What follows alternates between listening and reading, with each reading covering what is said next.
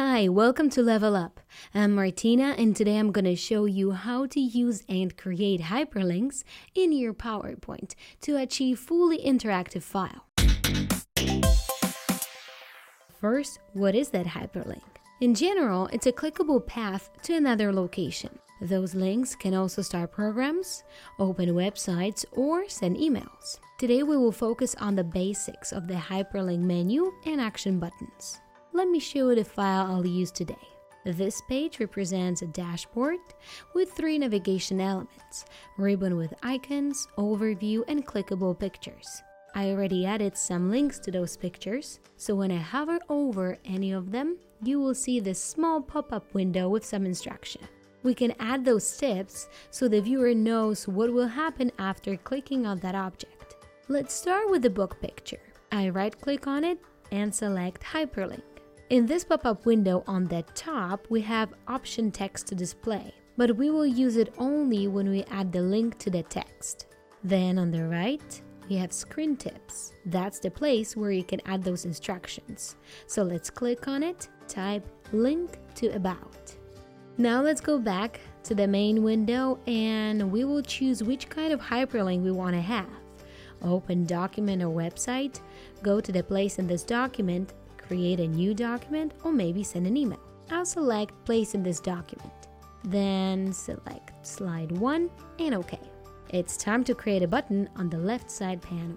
We have two options with slightly different results. First, set a link for both the text and icon, or create a single invisible box above both of them.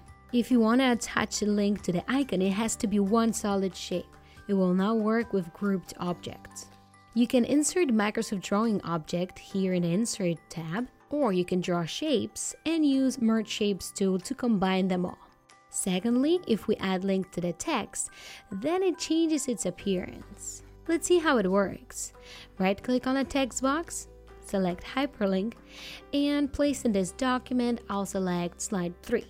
See, not the best result. I'll undo that.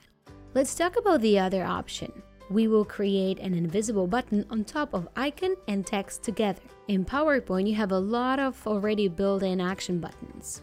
Go to the Home tab and in the Drawing group, click on the More button to see all the shapes. On the very bottom, you will find Action Buttons group. Every each of them has applied function. For example, the one with the house icon will take you to the first slide. But this time we want to add our own action. Select the last shape and draw it over those two objects.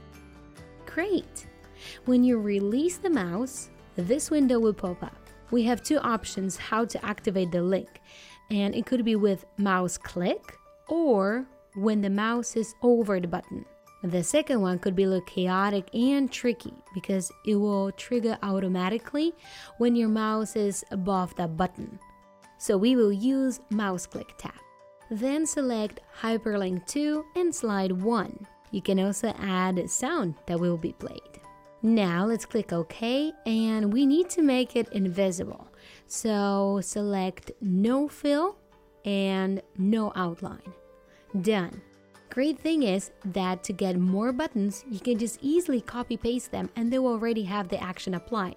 All you have to do is adjust the destination slide in the link. So right click edit hyperlink, and select different number of slide. Great, let's see if it worked. Click on the reading view, and I'll click on our link. Nice! To make this smooth transition, select Morph in Transition tab. Now we want to create a button to go back to the dashboard slide. Let's copy this button and go to the next slide and paste it back. I'll move it here and adjust the size a little bit to cover all those shapes and text.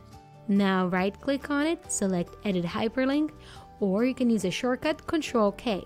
Then change the option to go to the first slide. But what if you would want to add action to any other object, not the one that is built in in PowerPoint? Just select the object that you want to add an action to, go to the Insert tab and click Action. You already know this window, right? Just select the action you prefer and maybe even add the sound. Done!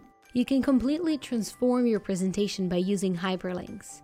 It makes the file more interesting and engaging. And the most important thing, after converting the PPT to PDF, you will still have all those hyperlinks attached. In the next videos, we will show you other great tricks of how to use hyperlinks to achieve great results. Okay, see you next week.